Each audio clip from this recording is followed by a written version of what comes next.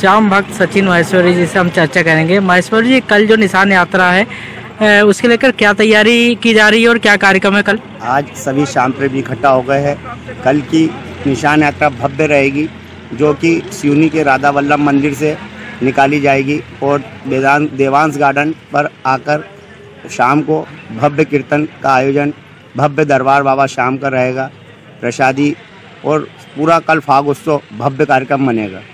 कितने वर्ष हो गए ये बनाते हुए? ये तृतीय वर्ष, तीसरा वर्ष है। सभी श्याम प्रेमियों में बड़ी उत्सुकता है इस कार्यक्रम के लिए। आज कम से कम इस ग्राउंड पर सौ कार्यकर्ता, सौ श्याम प्रेमी सभी आकर पूरा अपने अपने कार्य को निर्वाह कर